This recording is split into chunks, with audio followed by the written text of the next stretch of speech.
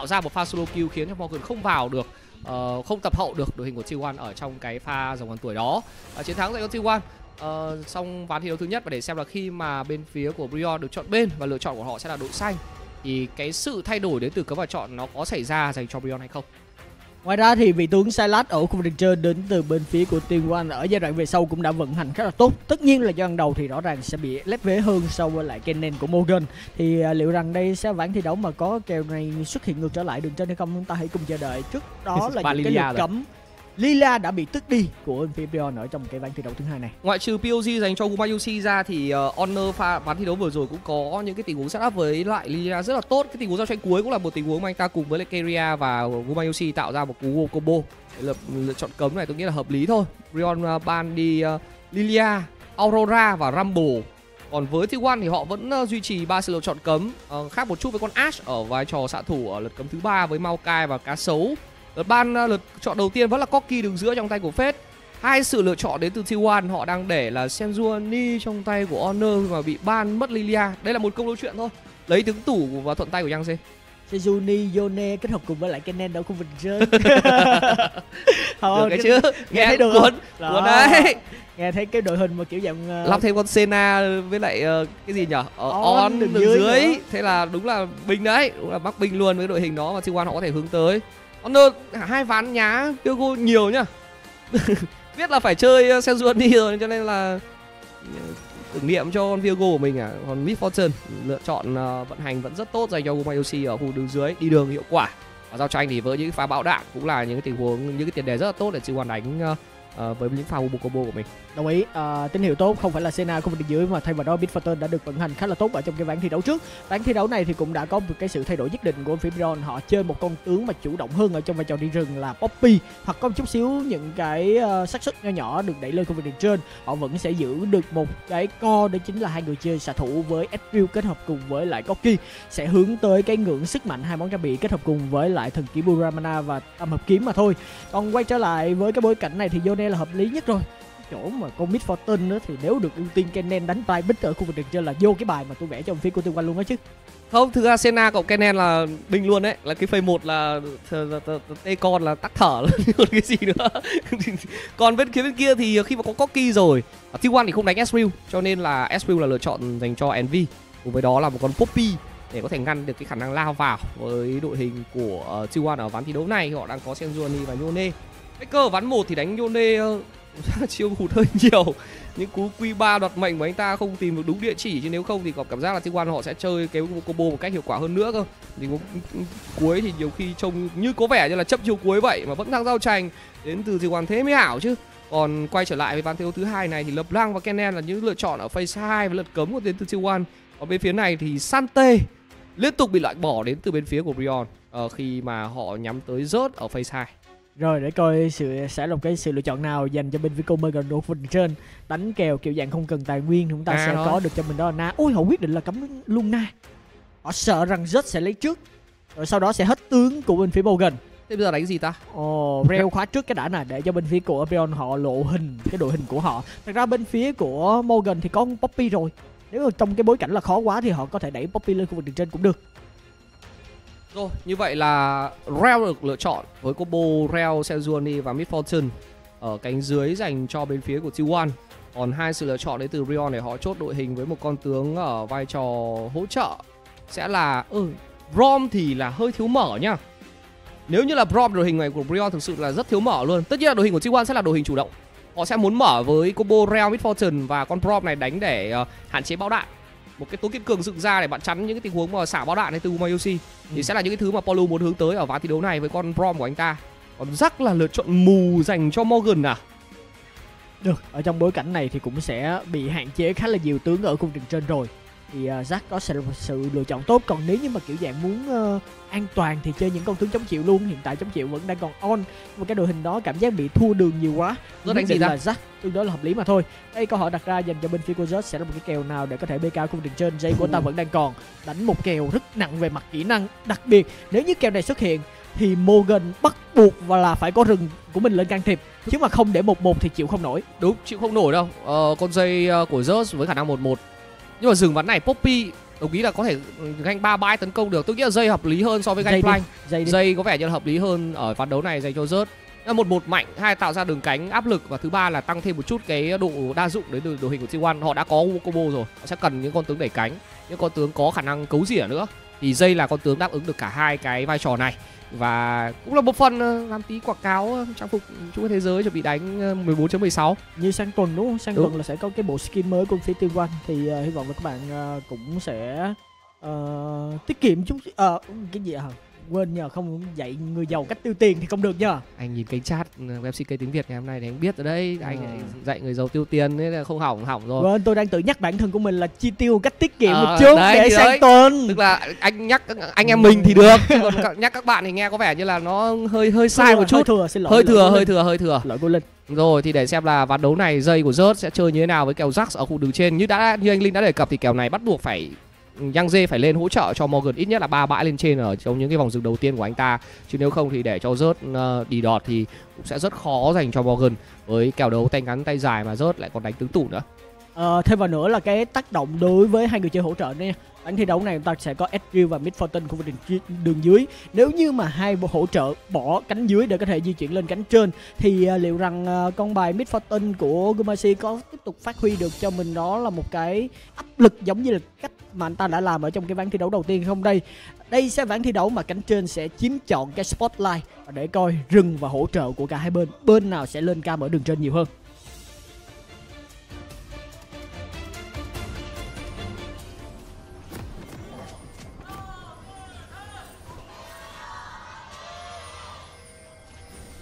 소환사의 협곡에 오신 것을 환영합니다. Chúng ta cũng đến ngay ván thứ hai trong trận lượt về giữa Brion và T1 khuôn khổ LCK mùa hè năm 2024 trên kênh sóng của LCK tiếng Việt với bản quyền phát sóng thuộc về Box Sport.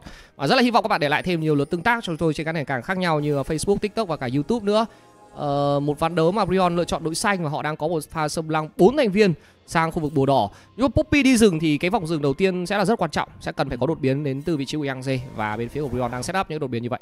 Hiện tại thì họ đang có cả Poppy với lại cả Prom Những câu tướng rất mạnh ở thời điểm cấp độ 1 Đó là lý do tại sao mà họ đang rất là tự tin để có thể di chuyển vào rừng của phía đối phương Cắm ra ba con mắt Họ sợ là bên phía của Tiên Quan sẽ đổi Biết rồi. đổi đường YOC mà ra là lộ hình chắc luôn nhưng mà T1 có dấu nháy ping vào cái bụi đấy nhưng mà họ không thể nào mà thoát được.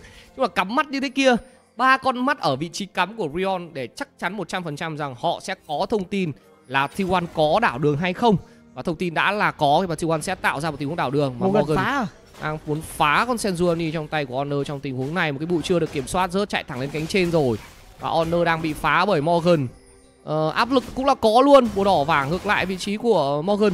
Đây Rất- vẫn là phần sân của uh, T1 và liệu Morgan có gặp nguy hiểm khi mà area di chuyển? Bắt buộc thôi.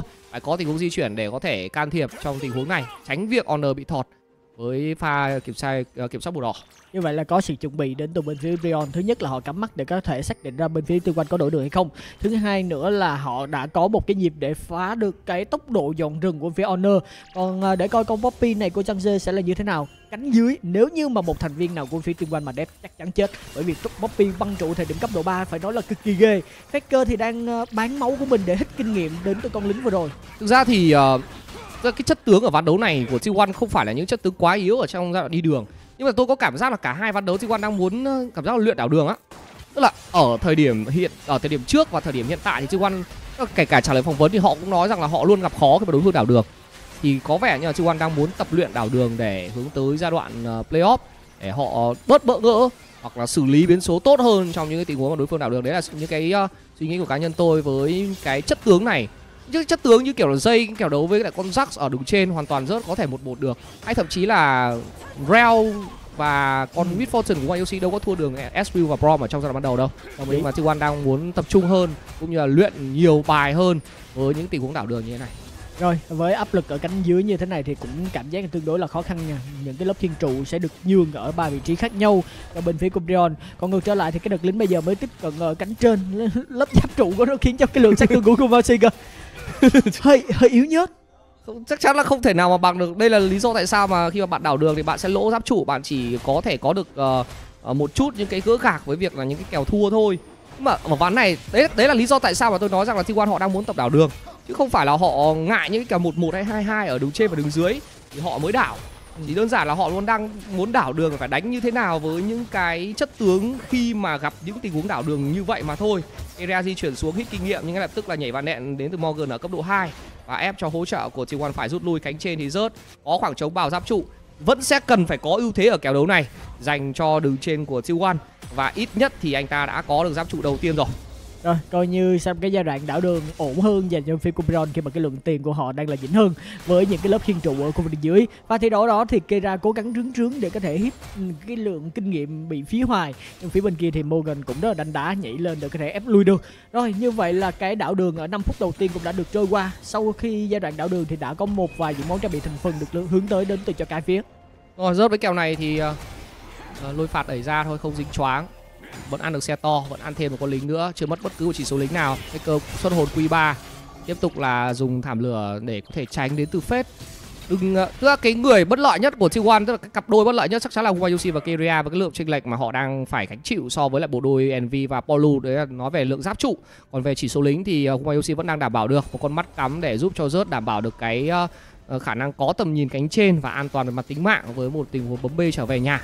Và cũng sẽ có được cho mình dịch chuyển để quay trở lại đường ngay thôi. Vẫn đang là lượng lính tốt hơn một chút dành cho đường trên của T1 bất chấp việc là Morgan được hưởng lợi với giáp trụ cánh trên rồi còn ngược trở lại cánh dưới như nào đây? Chúng ta cũng sẽ có được một vài những cái điểm lợi nhất định đến từ bên phía của Envy đó chính là cái dòng nước Bắc sẽ giúp cho anh ta đẩy đường tốt hơn ở trong cái dàn tiếp theo. Và rõ ràng là cái sức ép đến từ Poppy cần phải được vận hành tiếp ở trong cái giai đoạn nữa dành cho phía của Jang à, để có thể xoay quanh ở khu vực dưới chăng? Hiện tại thì anh ta đang có dấu hiệu bắt đầu hướng xuống cánh dưới rồi nhưng cần phải vượt qua cái lượng tầm nhìn. Cái góc di chuyển này của Jang là cực kỳ khéo.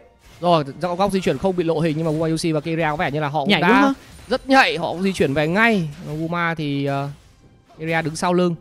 Không có thông tin. Chỉ cần một nhịp đẩy cao thôi, di chuyển ra rồi. Tiêu tế tái không trúng. Đẩy vị trí Guma về, vẫn còn tốc biến. Di chuyển khoa học lao lên. Có đánh ngất ngư, thanh tẩy ngay lập tức Guma vẫn giữ được cho mình tốc biến. Và Keria cũng tương tự là như vậy, Với lách việc lách được hai cái cú quỳ của Cặp đôi Envy và Polu bên phía bên kia. Và bộ đôi của T1 chỉ trốn, tốn đúng một cái thanh tẩy để lùi về mà thôi. Nhưng mà lượng máu của họ mất đi cũng tương đối đáng kể. Coi như vẫn là cái dấu hiệu găng thành công dành cho Vico Zhangje và ta đang cụ thể hóa bằng con rồng nguyên tố đầu tiên ở ván thi đấu này. À, điểm sáng dành cho đường dây rừng của phía Beyond cần phải được phát huy tiếp ở trong giai đoạn, giai đoạn tiếp theo. Faker thì đang cố gắng để có thể cấu rỉa máu vào người của Fed ở đường giữa này nhưng có khoảng trống di chuyển dành cho Poilu và anh ta là người gặp bất lợi hơn ở trong cái pha trao đổi vừa rồi. Nhưng phía bên kia Honor cũng có câu đáp trả. Cấp độ sâu cũng đã được hình thành sau khi anh ta ăn xong ba con sâu này. Những cái nhịp sâu đầu tiên sẽ giúp cho Honor đạt được một cái độ, một cái à, lượng kinh nghiệm là lớn hơn so với lại Yang Dê chúng ta hãy nhìn cái chênh lệch ở hai vị trí đi rừng. Honor cấp 6 Yang Dê anh ta tốn rất là nhiều thời gian vòng xuống cánh dưới lên đường trên ganh và anh ta đang thua sút rất nhiều về lượng kinh nghiệm so với lại người đi rừng của đối phương và đây có thể sẽ là pha setup để đai chủ đến từ bộ đôi của T1 với bola băng tầm gần. Không thể né được cầu sáu, cầu ra tốc chỉ thiên lôi phạt và rớt có được chiến công đầu.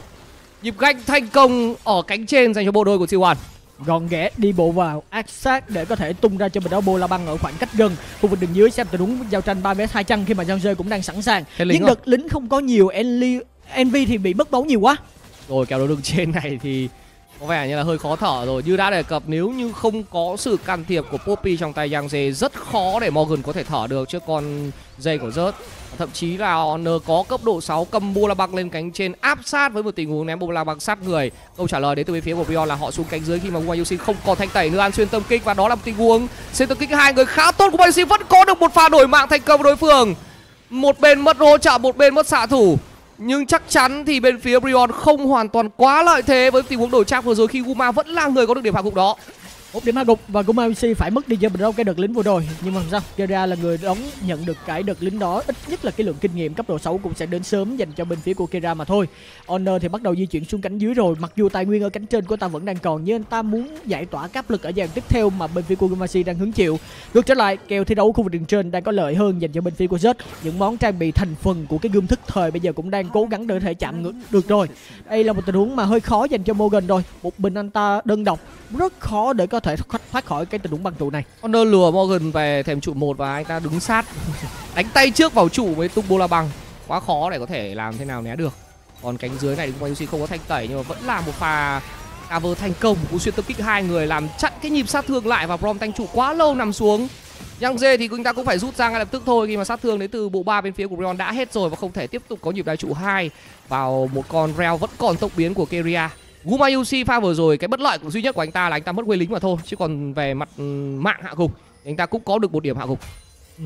Còn ngược trở lại thì Zed đang là người có lợi thế nhất ở thời điểm hiện tại sau khi giai đoạn đi đường à, vẫn đang còn tồn tại thì à, để coi cái cách mà anh ta đè nén vào Morgan ở khu cánh trên như thế nào. Ngược trở lại thì bên phía Cobron cũng sẽ có áp lực ở cánh dưới. Nhưng lần này thì Honor đang có mặt để có thể tạo ra được những tình huống giao tranh 3 vs 3. Giáp trụ giúp cho Envy đang hơn tiền so với Gumayushi đâu đó khoảng tầm 400 và chuẩn bị sẽ làm một cái trụ một toàn bản đồ với con uh, SP ở cánh dưới được đẩy ra khu đường giữa. Big Fortune ở ván đấu này của Gumayushi không à, quá xanh như ở ván thi đấu trước. Nữa và đây sẽ làm tình huống mà Paulu không tốc biến ăn xuyên tông kích nhưng khá trâu ủi vai dính tường. Nhưng bão đạn hai người khá tốt bị chặn lại bởi tối kiên cường. Rất nhiều sát thương bị chặn lại bởi Gumayushi nhưng vẫn là điểm mạng không dành cho thành viên bên phía của T1 Honor trừng phạt thành công Yangze Yangze trừng phạt ngược lại Honor. Cú làm chậm để lấy đi cái tốc biến của Yangze tới từ người đi rừng của T1 và đó là pha mà hai hỗ trợ nằm xuống. Một đối bộ ở trong tình huống vừa rồi mà thôi. Một cái tôi kiên cường được dựng ra tốt dành cho phía của Bolo Mặc dù anh ta nằm xuống nhưng anh ta che chắn cái lượng sát thương khá là nhiều. Và đó là cái tiền đề để cho Dân Dê có thể thoát khỏi ờ, không bị hạ gục ở giai đoạn sau. Chính xác là như vậy rồi. Nếu như không có cái tối kiên cường đấy thì tôi tin rằng là bộ đôi của Brion với uh, Brom và với cả Poppy sẽ bị thổi bay bởi cái bão đạn hai người của Mayoshi thì mà bên phía bên kia thì cũng không còn những cái tốc biến nữa và sẽ là ưu thế dành cho T1 ở khu vực đường dưới với một pha bao giáp trụ dành cho Gumayushi một tình huống lấy trụ một toan bản đồ dành cho Zeus với kèo dây và Jax mà anh ta đang thực sự hủy diệt vị trí của Morgan ở khu vực đường trên Faker gặp khó ở khu vực đường giữa nhưng có Keria bảo kê thì cũng không gặp quá nhiều nguy hiểm. Gumayushi không có tốc biến và đang phải tay đôi với Envy, đang phải đứng dựa vào những thợ lính để tránh pháp bắn thần bí. Envy giải quyết lính, lính chắn rất nhiều pháp bắn thần bí và không thể có được tình huống tay đôi thành công của Gumayushi nhưng xuống. hết năng lượng rồi. Kuma đang hết năng lượng và không có tốc biến trong pha này di chuyển của học để có thể có thể tấn công đến từ Envy và thêm một pha tuyệt tề tái nữa dứt tương ra cho chắc chắn đến từ Paulu với mạng hạ gục dành cho xạ thủ của Brion. Một tình huống cố gắng để có thể kích sải bước đến từ bên phía của Gamersi nhưng mà vẫn có sát thương truy đuổi của phía Envy và đặc biệt đó chính là Boilu có mặt kịp thời ở khu vực dưới. Envy. Đây là cái bước đáp trả khi mà Zed cũng đang có mặt. Envy đang lui về phía sau bị CC và tốc biến dứt điểm tốt dành cho bên phía của Zed. Quay ngược trở lại tấn công tiếp vào người của Boilu.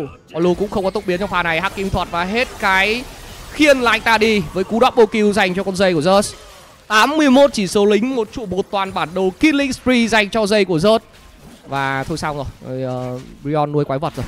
Lệch ở thời điểm hiện tại về mặt kinh tế của Zed chắc đâu đó khoảng chừng hơn 2.000 ở trong cái kèo thi đấu này. Và đã là một cái kèo tương đối là khó rồi dành cho bên phía của Morgan và thậm chí đang có cơ hội để có thể gia tăng thêm cái lượng kinh tế đến từ những cái lớp thiên, thiên trụ ở khu vực dưới nữa.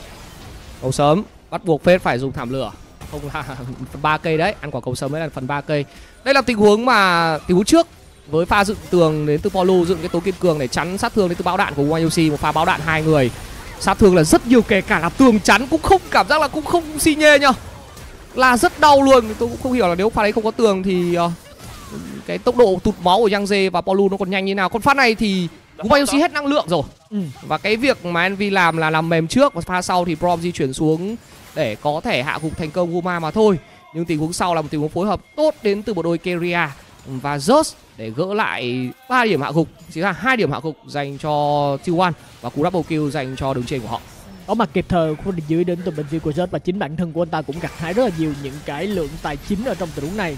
Và như đã nói, kèo thi đấu này thì Morgan gần như là không có cơ hội để có thể trở mình ở trong cái kèo một một nữa rồi. Anh ta bây giờ phải cố gắng để có thể bám pha mà thôi, nhưng cơ hội để có thể lăn cầu tuyết ở cánh dưới thì nó đang nghiêng về cho con dây của Zed rồi, chúng ta sẽ có một giai đoạn early game mà T1 đang dẫn đâu đó khoảng 2.000 với một con quái vật mang tên dây của Zeus. Ở khu đứng trên. Zeus vừa dùng cú dịch chuyển của mình xuống cánh dưới để áp lực vào con nguyên tố thứ hai, nơi mà Honor đang kiểm soát nó.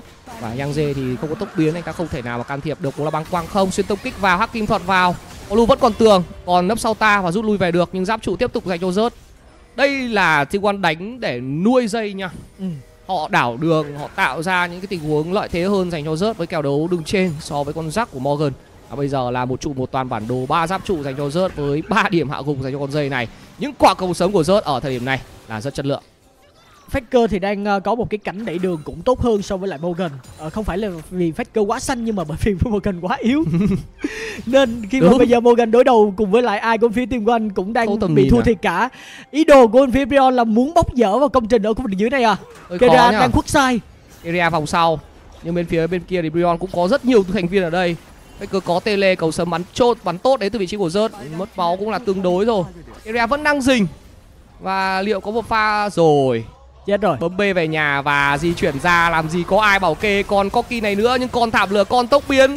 Về được hay không đây? Bật cổng ra tốc kích tốc luôn. Đến từ rất cầu sớm lấy luôn tốc biến của Fed. Và ít nhất là Fed vẫn đảm bảo được an toàn và tính mạng. Khi mà T1 đầu tư hai cú chiêu cuối và họ lấy được cái tốc biến của đường giữa đối phương. Ai da tưởng chừng như sẽ là chết nhưng mà không vẫn. Chết đâu? Chết đâu rồi về được không chết vẫn về được.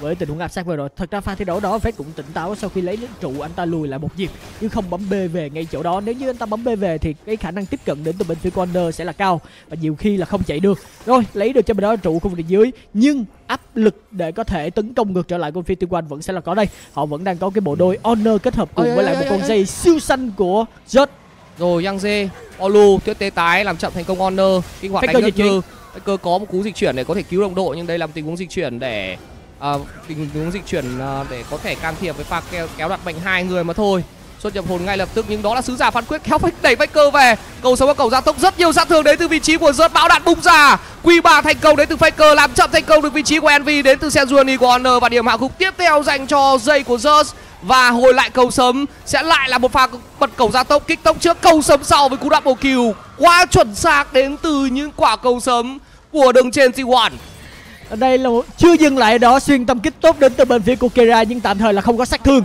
Honor chỉ dừng ở cái việc mà cướp được bãi đá của phía đối phương mà thôi. Zed vừa rồi đã lấy được cho mình ở trụ cùng địa dưới. Còn giày năm sát và vô vàng cái lượng tài chính được dành cho Zed ở trong cái tình huống tiếp theo Sau tình huống bấm B về nhà lần này của anh ta. Hai đồ rồi. Chắc chắn là hai đồ lớn với một cái thần kiếm Muramana dành cho dây của Zed. chúng ta cùng nhìn lại thì Honor bị bắt lại. Nhưng Honor rất trâu và sát thương của Yang Jae và Polu là không đủ rất trả lại những quả cầu sớm rất chất lượng. Quả đầu tiên trúng vào Yang Jae và tiếp tục sẽ là một tình huống một Faker dùng xuất hồn rồi đoạt mệnh kéo hai người vào để tạo góc gây sát thương thêm. Và Guma Yushi khi mà anh ta di chuyển ra ở bên hông một con Mid Fortune tắt cánh. Quá đẹp. Bắn một cái bão đạn gần như là bốn thành viên của Beyond dính trọn luôn và rớt đơn giản là chỉ thiên dứt điểm NV thôi với pha làm chậm tiếp theo của Honor. Và lại là những tình huống áp sát bật cổng gia tốc để có thể kích cốc tích kích tốc dành cho Honor. Sau đó bắn một quả cầu sớm để có thể ăn được mạng thứ hai với cú double kill. Quá chuẩn chỉ và mắc bình dành cho rớt ở ván thi đấu này. Còn Envy tiếp tục bị hất tung lên. Faker đang xuất nhập hồn và chặt rất đau. Có xuất siêu kinh hoàng và xuất được tích hai người đến từ vị trí của Keria. Và Gumayushi bắn từ đầu đến cuối giao tranh luôn. Điểm hạ gục thứ 8 dành cho T1 và có thể sẽ là một tình huống lấy chủ đường giữa dành cho họ.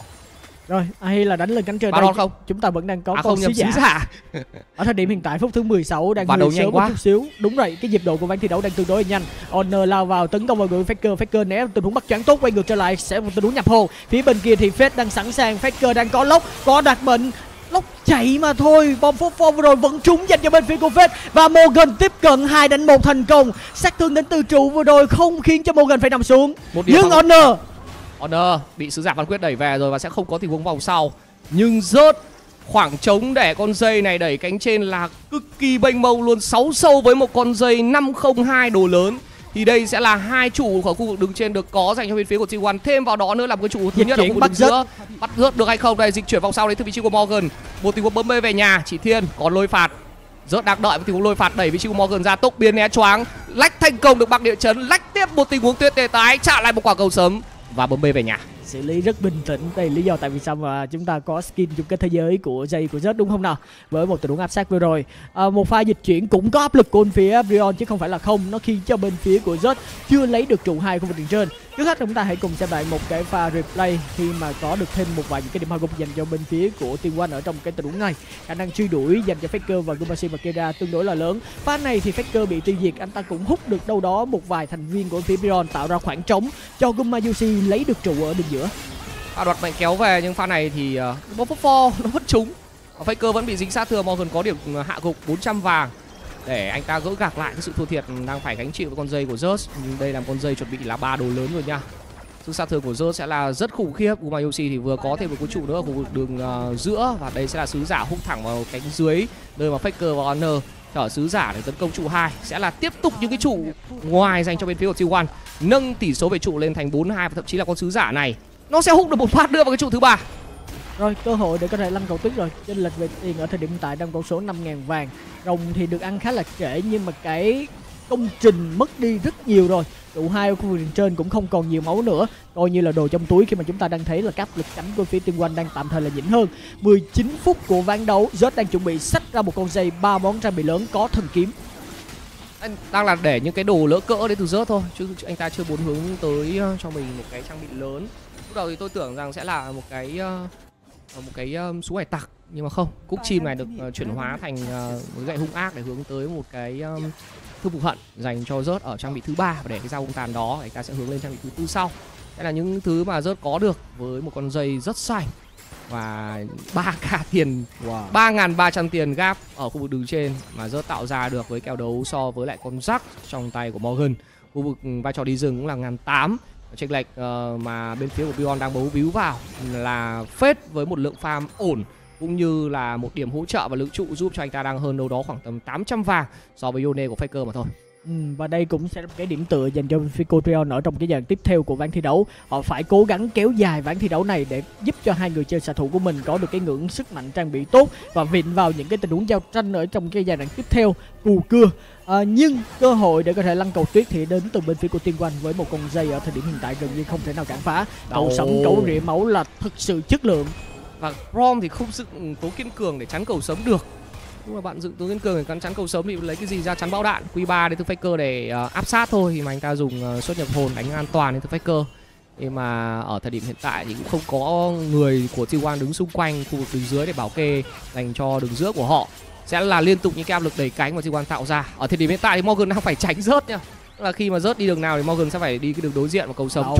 Ơi ra đường giữa lấy nhẹ nhàng một phần ba cây máu của Envy với một pha combo cầu sớm và cầu gia tốc con dê thực sự là áp lực Ở nữa có thương phục hận nữa thì chắc là cái lượng sát thương sẽ được gia Nửa tăng thêm rất là nhiều. ừ. Và chưa kể đó cái khả năng làm mềm đến từ Gumosi với cái bảo đạn nữa khả năng chống chịu đến từ cái đội hình còn lại của Honor và Kira cũng đang tương đối là cao. Có hạt thông đổ được nâng cấp kìa. Rớt đang đứng đằng sau sẵn sàng tình huống cầu sớm bắn cầu sớm vào Polu luôn. Qua Yoshi phải mất tốc biến. Khi mà Morgan tiếp cận nhưng bên phía này thì rớt đã hủy diệt Poppy của Yangtze rồi. Lợi thế về người đến từ bên phía T1 di chuyển đến từ Faker và Keria đang muốn vào xuyên tâm kích hắc kim thuật, hút hai người tốt đến từ vị trí của Keria. Đoạt bệnh kéo thành công đến từ Faker và lại tiếp tục là quả cầu sớm thứ hai thành công đến từ rớt với điểm hạ gục. Hình như đâu đó là thứ bảy của anh ta ở ván thi đấu này rồi và Senjuani trong tay của Honor có được mạng của Brom trong tay Polu nữa. Một pha quét ba và T1 sẽ có được ba rod mà thôi chênh lệch về mặt trang bị chênh lệch về mặt sát thương giúp cho bên phía của Tiên Oanh dễ dàng để có thể hạ gục cái dàn chống chịu của bên phía Brion. Và ép lên như vậy thì hơi khó dành cho bên phía của Brion có thể bật ngược trở lại. Ở thời điểm hiện tại thì họ không đủ cái lượng trang bị của mình. Faker thì đang chờ đợi một tình huống để có thể gà kèo một một cùng với lại Morgan. Không? Đâm quy một cái nè đâm quy trượt bởi vì Morgan đã cắm mắt chạy. Chắn là không đủ đam rồi. Trong cái là thấy không đủ đam rồi. Tức tất cả những thứ mà Faker cần làm là câu giờ cho đồng đội ăn Baron sẽ là Baron đầu tiên ở thời điểm phút thứ 22 dành cho bên phía của T1 với một con dây 7 điểm hạ gục. Hãy nhìn cái cách mà rớt cái sát thương thì phát này anh ta biết được rằng bắn ở Yang Dê nó cũng ờ, hơi thừa bắn thẳng vào Paulu luôn để gây thêm sát thương. Tối ưu hóa sát thương một pha chỉ thiên rất nhanh chóng hạ sát thành công được ờ, uh, muốn Poppy gần như là bốc hơi. Sau đó là ba xuyên tâm kích tốc biến hắc kim thuật su kinh hoàng hai người để tạo ra một tình huống đoạt mệnh kéo thẳng vào pen envy luôn. Envy lên bảng đếm số rất tiếp tục ờ, uh, zona hoàn toàn morgan và điểm hạ gục cứ liên tục tới dành cho bên phía của T1 với ba mạng và họ có được Baron sau đó Rồi với bù lại Baron thì cũng sẽ là một trong những cái công cụ để có thể tiếp tục lăn thêm cái quả cầu tuyết này cho bên phía Solo của à? T1 đang tìm góc đang tìm coi đối phương có ai ở trên khu vực đường trên nữa hay không đây nào rớt không có tầm nhìn Hoa đánh sáng thấy rồi. sáng cầu sớm thành công rồi tạm biệt chạy không hộ. chạy được không chạy được. Chạy hộ. Chỉ thiên vào lấy tốc biến. Rồi À, như vậy có là đồng đội có cứu. tốc biến có tốc biến có tốc biến có đồng đội cứu morgan tới. Chỉ thiên lôi phạt đẩy ra nhưng câu sớm nói sớm thế nhở nhưng cánh dưới thì không có ai phòng vệ. Morgan dịch chuyển lên khu vực đường trên thì toàn hai ngồi cánh dưới rồi. Một cửa mega dành cho phía của T1 và thêm vào đó là cái áp lực tấn công vào trụ hai khu vực đường giữa này. Thế là chạy được luôn. Pet có tốc biến và anh ta rớt pha vừa rồi quyết định không tốc biến.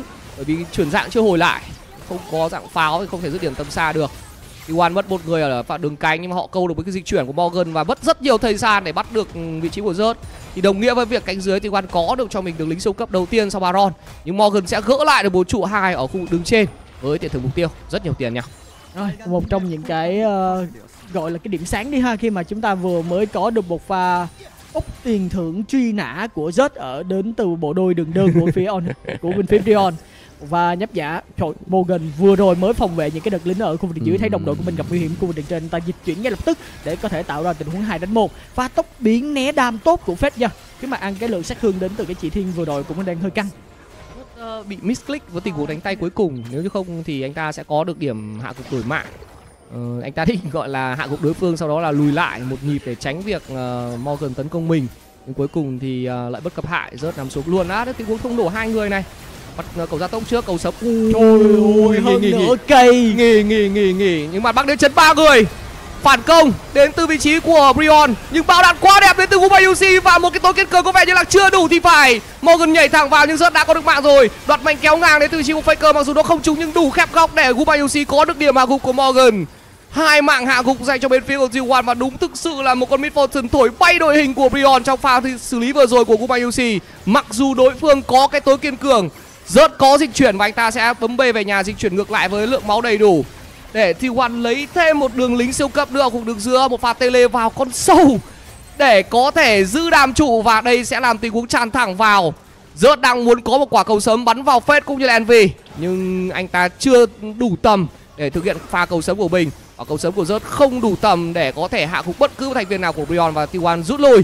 Sau khi mà họ đã có được một trụ thứ ba hay chăng này không? Như vậy họ sẽ lấy hai đường nhiều cái đợt lính vào khu vực giữa để có thể tiếp tục lấy cho mình đấu cửa Mega này. À, đang hơi rướng rướng lên cánh trên một nhịp nè. Bắt đầu đang có tín hiệu gà kèo BK của Infinity One. Họ sẵn sàng quay ngược trở lại hồi mã thương. Chắc Ui. chắn đến từ khả năng câu rỉa máu tốt của Zed bắn hai quả cầu sấm Envy nửa cây Yang dê dưới nửa cây và cả vị trí của Polu nữa lại thêm một quả cầu sấm.